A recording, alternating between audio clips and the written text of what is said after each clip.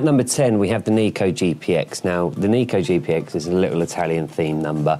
Uh, again, standard 50cc, capped to 30 miles an hour. It's got a sporty style and packed with technology, which also comes as standard LED lights, uh, semi-digital display. So the usual bits which you'd like on a, a comfy little brand new commuter. Small race uh, rear shock, so a bit different for a 50, but still good nonetheless. In terms of price, you're looking at about £1,700 for the bike. It's a four-stroke air-cooled single cylinder. Of course, it's an automatic, so twist and go.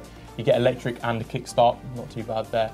And miles per gallon, of course, all of these bikes are going to be great, but this one's about 120 or thereabouts miles per gallon with a 6.8 litre tank. Uh, front brake is a hydraulic disc and the rear is a drum and the weight's about 80 kilograms. So moving on to number nine, it's the Piaggio Zip 50. Now there's no surprises here, you know, Piaggio making a 50cc scooters list because they are well known for their scooters. The Zip 50 itself is an iconic scooter for city riders. That's pretty much exactly what the market they want to aim the scooter at. As standard with Piaggio, you can expect solid design, you get some great features, just looks the part basically. You get a large underseat storage, which is enough for a full face helmet, which is always welcome, and an adjustable seat. You do pay a premium, of course, because it is Piaggio brand, so it's about £1,900 that you'd expect to pay. You always do with Piaggio, but a few stats to the bike. It's using the Piaggio or Vespa I-Get single cylinder four stroke air cooled engine. 115 miles to the gallon with a 6.6 litre tank, so that really isn't bad at all. We have a weight of 95 kilograms for, I'm not sure whether that's dry or wet, but either way with a 6 litre tank, it's not bad. Not bad at all. Uh, next up is the AJS Digita. Now, this bike sold reasonably well in 2018, uh, and that's probably a lot of it to do with the low price. You can pick one up for under £1,200, 1150 uh, For your money, you get good quality parts, a stylish scooter, uh, front disc brakes, telescopic front suspension. So the usual nice bits on that kind of bike. So Yeah, can't complain with that at all, especially for that price. And for that price, you do get a four-stroke air-cooled engine. It's going to be single-cylinder, automatic twist and go, of course. It's an electric and kickstart. 123 miles per gallon or thereabouts on a 5.5 litre tank. And with the brakes, front is a disc, rear is a drum, weight of about 78 kilograms. Nice and easy. Now with the Aprilia SR50R at number seven is basically going to be quite a super sports scooter. And that's quite a strange one for a 50cc to be going for like a super sports theme. But again, it's pretty ideal for the 16 year olds who are looking to get onto their first scooter. So of course the Aprilia SR50 series is the benchmark for a performance 50cc scooter. It's still within all of the, you know, the normal limits and it's going to be everything you expect capped at 30 miles an hour. But you do get front and rear disc brakes and telescopic hydraulic suspension. You can also find a racing replica model as well if you really want to go for it.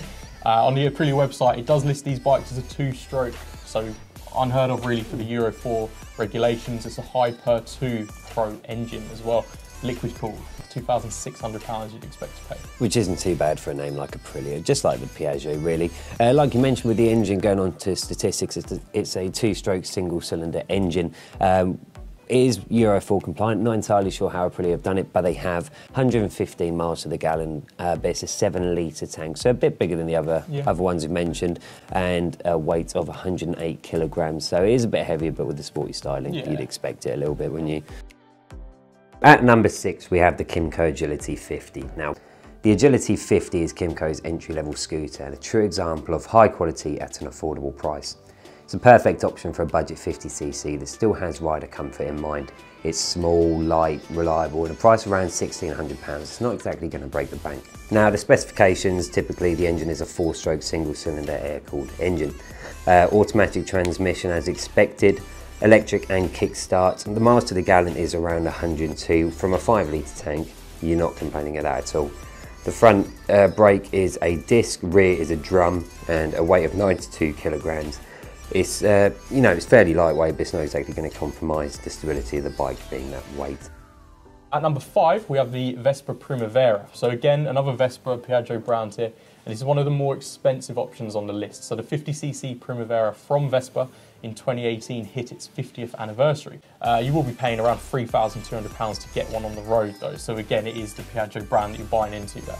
You are guaranteed to be happy on the scooter I'm sure, um, and it is more common as a 125 rather than the 50, but it does still sell reasonably well for a stylish commuter scooter. Statistics behind it, it's a four, uh, four-stroke air-cooled uh, single-cylinder engine. Not sure whether they're using the I-Get engines, but regardless, it's a great engine.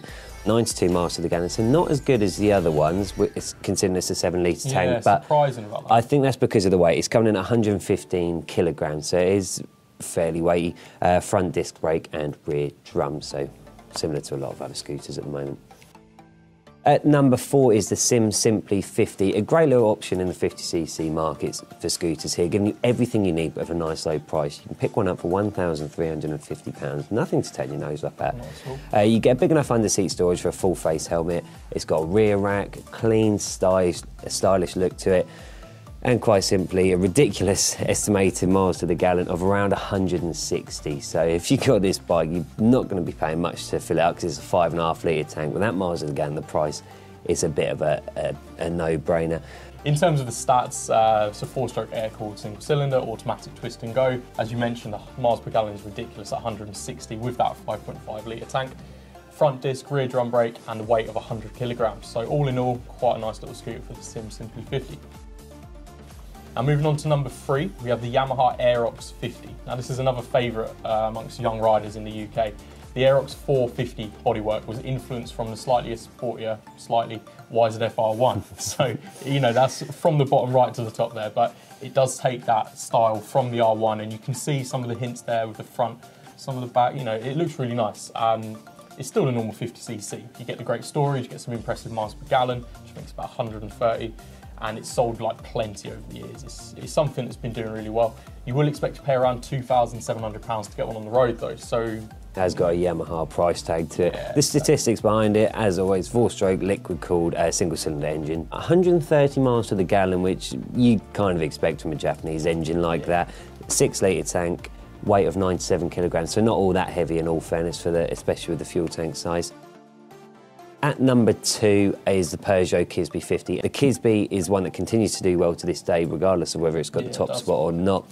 Um, ticking all the boxes for a small capacity commuter of great storage space and decent economy. It's also very lightweight uh, with a big fuel tank. For a simple scooter, you get some noteworthy positives if you see what I mean with that. Price at £1,600, £1,600. So you really have quite a big contender in the 50cc market with this. Yeah, I mean, there's going to be no surprises here in terms of the stats. Again, four-stroke air-cooled single-cylinder engine, automatic twist and go, electric and kickstart. As you mentioned, the miles per gallon is about 150 with that 6.8 litre tank, so really respectable for a Kisbee, and a weight of 95 kilograms, as you say there, so really good. Coming in at number one for the most popular 50cc scooter is going to be the Lexmoto Echo 50. Now, it's going to be currently one of the most popular scooters out there. It's the Echo that really gives a great, like, you know, punch for the price. It's 1,100 pounds, which is really coming in low. But you do get some good bits here. So it's going to be aimed at those who are new to riding, or even those that just want to get around locally quickly. So just like commuter scooter, that's a bit of a workhorse.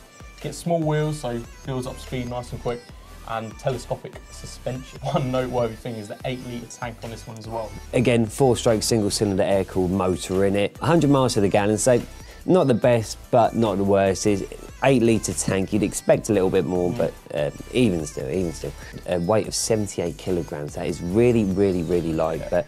It's, it's one of those things, isn't it, Lexmo? It's been around for so long. So, Yeah. anyway, that is a list of our top 10 50cc scooters to keep an eye out for at the moment. As always, there are loads more out there. We've just comprised a quick list. Make sure you let us know in the comments which ones you'd be looking to get or that you're looking forward to seeing on the roads. Thank you very much for watching the video. Of course, subscribe, hit the little bell icon so you can get notified of our new content. And thank you very much for watching. Thanks.